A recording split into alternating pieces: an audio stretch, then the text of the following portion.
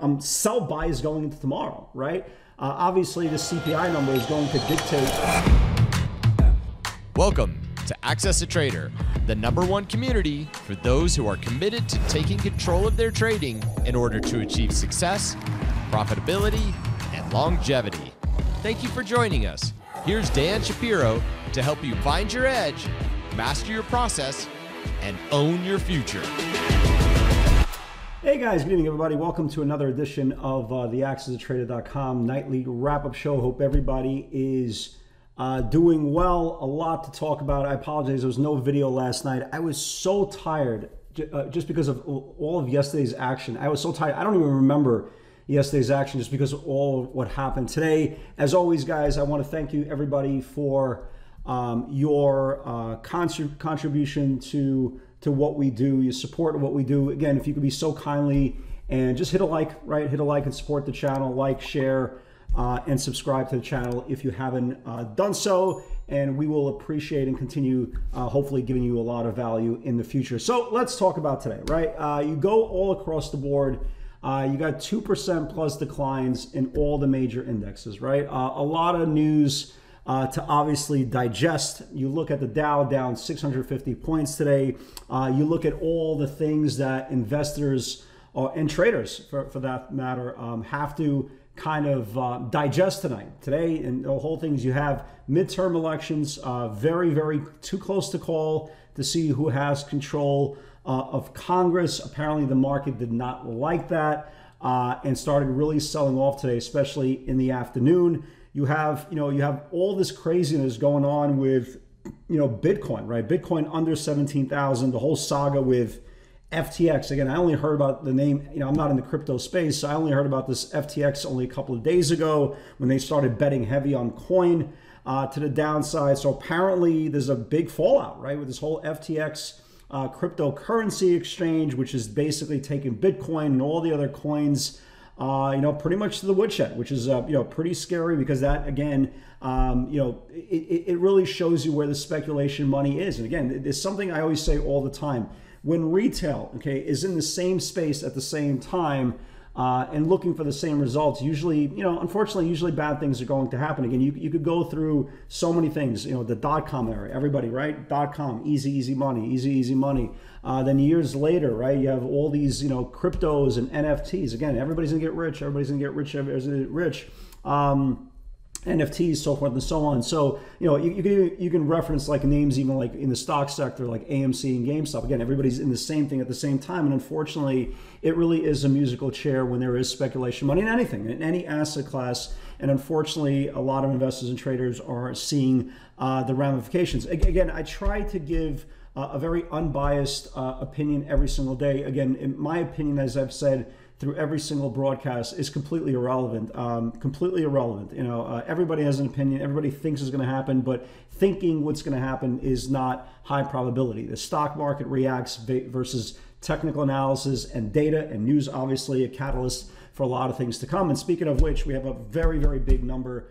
Uh, going into tomorrow is the, the, the CPI, the inflation you know readings to see to kind of give us another clue of what's going to happen, right? What's going to happen down the road. And, you know, if, if you believe in craziness, right, and you thought today was pretty aggressive to the downside, well, I, can't, I think the market's going to turn around to us tonight and say, well, hold my beer, wait till we see tomorrow. And the reason why we say that, if you look at September's uh, CPI, and again, we, we know how, you know, pretty bad the economy is. Uh, we went down 1,200 points, right? If you look at October's CPI, we gapped up 500, went down 300, then rallied 800. So who knows what's going to happen tomorrow right? We, we, we absolutely don't know. I, I, you know i don't know you know people ask me all the time what do you think is going to happen next week? I couldn't tell you what's going to happen 15 minutes from now let alone next week. Again we have data. We use data from the previous night's research. Like today's close is giving me data for tomorrow right? The the only thing i i, I don't know what's going to happen is after the CPI number is going to, you know, is going to be released. You know, again, at, at some point tomorrow, we either going to be looking at, you know, a Dow up 500 or down 500, right? So it's very, very tough to say, well, I'm definitely having my watch list. I'm definitely watching those stocks in the watch list, and they're going to play out. Maybe they do, maybe they don't.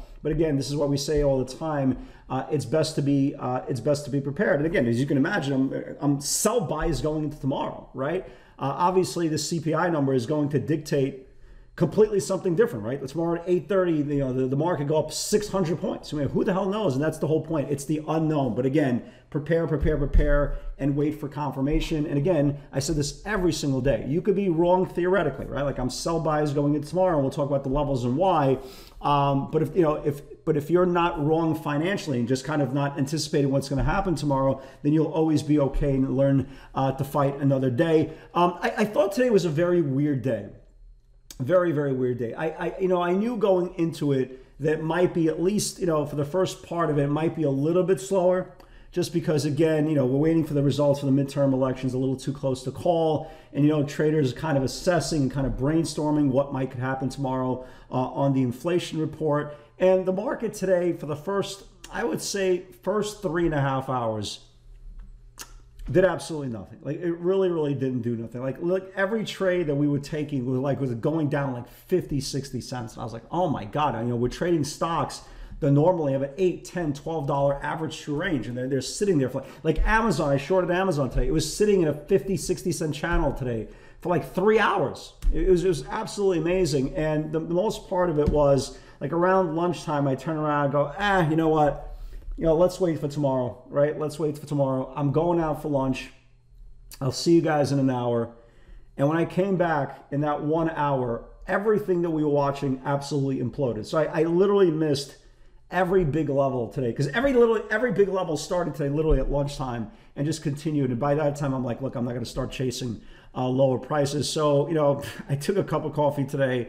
Uh, very disappointed uh, because I, I literally left and Tesla went down eight um, the Qs went down like three. I mean, like everything. Like Amazon finally broke down. Apple finally broke down. My so whatever. It was kind of one of those days that you know it was just if I just stayed for an extra five minutes, five minutes, um, I would have participated in the afternoon. But again, you can't uh, do everything. And again, I, I have this. I have this rationale that you know God gives you, right? God gives you what you're supposed to get, not you know, not more, not less. So um, sometimes you get everything, sometimes you get nothing, sometimes you're the pigeon, sometimes you're the windshield. And that's kind of how the market works. So uh, let's talk about some key levels today, right? Uh, everything is getting shelled. First of all, let me talk about Tesla. We've been talking about Tesla for for a while now. We talked about over the weekend video. It broke down lowest support.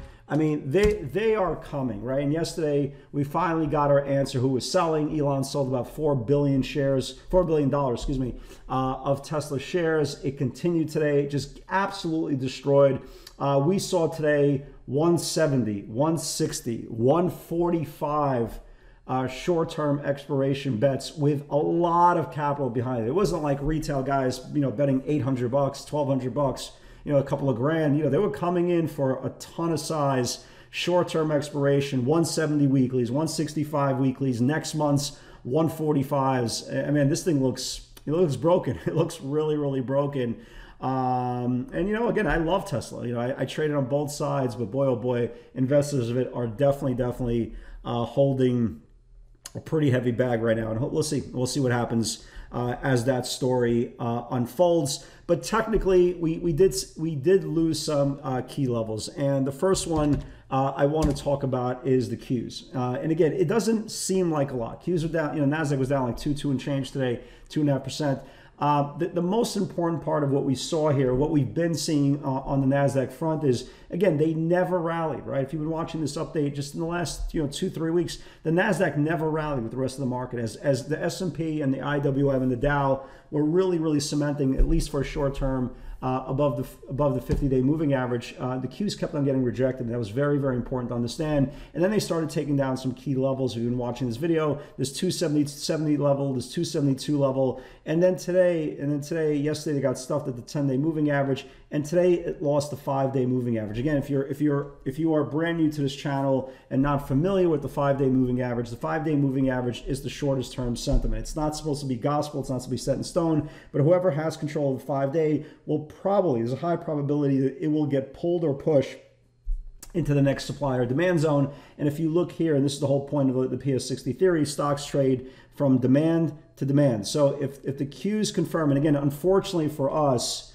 you know, there's you know there's always a possibility that the Qs, you know, they just gap down six, seven points. You know what I mean? So you know, I made the watch list today. I, like, I definitely like some names, but I'm just I'm just really afraid, and I just have this really weird feeling that our watch list is going to get burnt literally at, at the CPI number, and then we have to kind of switch to you know, Plan B through uh, Z. But uh, the whole the whole point is if we do kind of have like a, a staggering oh, staggering report and the market just goes up and down, up and down, up and down, then we have, we'll have a shot at the bottom ranges here. If you know Qs start losing the 63 level here, and we'll get to the individual pivots today, but if Qs start losing this this 63 level, there's a shot we get to this 258 level uh, on the on, on the Qs. If you look at the spiders today, right? If you look at the spies, exactly the same thing. You know, you know, it lost the 50-day moving average lost the, the 10 day, the five day moving average, and this is the lowest close in this whole formation, taking out th- two days worth of buying. Uh, if we get it, start building below uh, 373.60, and again, you know, this is all up in the air on the CPI number, but this thing starts losing at 363. Uh, 373, 373 level. Uh, there's gonna be more downside to come. And the Dow, you know, that's the one, you know, in, in a weird way, that's the one that's actually holding up uh, better than the rest. You know, here's the 50 day. We're way still above it. Uh, traded today to the 510, but the diamonds start losing the 325 level tomorrow. Uh, we'll, we'll, you know, the diamonds going to start uh, heading lower. So yeah, I mean, we're definitely sell bias tomorrow. We'll, we'll see what happens, right? We'll absolutely see what happens with the CPI. Uh, tomorrow evening, we could be talking about little, literally like, hey, you know, the CPI took the market up 600, or hey, the CPI took the market down 600. So again, we just have to prepare and see exactly what happens. The one thing that we do have control of is our game plan, our emotion, and our ability to be a professional, right? To be an adult, to sit there and wait patiently for everything to play out. What we don't have control of is news, uh, events, and data, right? We don't know what's going to happen and nobody else knows what's going to happen. So if you're trying to handicap what do you think is going to happen, all I got to tell you is look on look at September CPI, they went down 1200. Look at look at uh, October CPI, we went up 850. It was exactly the same thing. Nothing has changed materialistically in the economy. Nothing has materialistically changed in the Fed. So again, flip a coin, right? Here we go. I got, I got a dime here. Flip a coin. Heads is good, tails is bad right to be determined. So let's talk about uh, let's talk about some pivots today. And again i'm very frustrated about what happened today. It's just like everything collapsed as soon as i went to lunch. So i'm a little bit peed off. So anyway let's talk about it. Um, you know yesterday coin got destroyed 54 5420 uh, 47.69 if it builds below can flush. Again they were coming really really aggressively. I won't go there um, for the for the for next week's forty dollar puts. Right, it got hammered yesterday, uh, and again with all this stuff going on with Binance and FTX, again coin just continues to get uh, continues to get just just taken down. Uh, Forty seven sixty nine. It traded all the way down to forty four. Uh, Roblox, uh, you know, bad earnings. Thirty three has monthly. Uh, support if it builds below can flush 32.26 is the pre-market lows and needs to confirm here was roblox right? Here was Roblox. It took out, here's the whole 33, 33, 20 area, traded down to like 31. You know, it's going lower tomorrow. Uh, Apple, you know, Apple, the, the play is tomorrow. I'm praying, I'm praying to the market gods that gives us a setup. I really do. 3750 yesterday's channel. If it builds below, can flush. Here is Am, uh, Apple, right? So Apple flushes, Apple flushes 3750, goes down to the 34s. Guys, watch the bottom of the range here on Apple. They're coming for the 130 weeklies like like it's the last time to buy these contracts. 130 weekly puts. If this thing loses bottom channel here, this thing is toast. Again, CPI. Let's cross our fingers. Uh, Nvidia, we didn't have a chance to trade it. They just killed this thing right off the open. It went, you know, 141 needs to build. They killed Nvidia right off the open. Like literally, they killed it right off the open. Went all the way down to 137. I still like it for tomorrow, but didn't have a chance to to get that. Uh, Qs uh, 266.40 held twice if it builds below can flush. And again, that was the catalyst uh, for the Qs. It lost at 66.40, lost at 60, 65, uh, 65.50 yesterday's low. It took out this range's low. It traded all the way down to 63. Again, uh, prices look lower there. Uh, Microsoft, just a quick little scalp, uh, quick little scalp in the afternoon. I, again, I, I, couldn't get anything more than like a 50, 60 cent move. I was so frustrated. Um, you know, Microsoft 225.84 if it builds below can flush. There were massive buying came in for the February 200 puts. I mean, one down like 50, 60 cents and nothing. Um, I like Roku tomorrow. I'm still waiting for that. Um,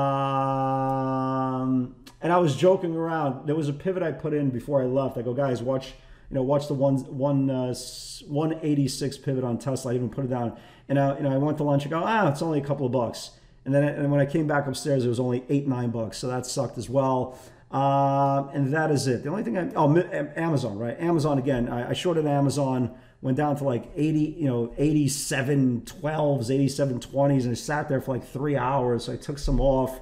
I covered when it, when the market started rallying. When it came back from lunch, it was like 86. I went to throw up. So, anyway, it is what it is. Look, look let, your worst day be a good one. Let the your, your, your, you know again the cost of doing business up a little bit, down a little bit, you know, flat. You know, it doesn't make a difference. It's called the cost of doing business. As long as you are rational, as long as you are looking at the big picture, you're going to be okay. Obviously, tonight the big story is. Um, uh, the midterm, we'll see what happens there when, when everything gets um, rationalized and then tomorrow the cpi number usually there's not um, uh, usually there's not a thursday video but since i didn't record one yesterday. I was just really really tired. Tomorrow i will record and hopefully the cpi is a good friend to our setups. Guys have a great night. God bless and i will see you all tomorrow. Take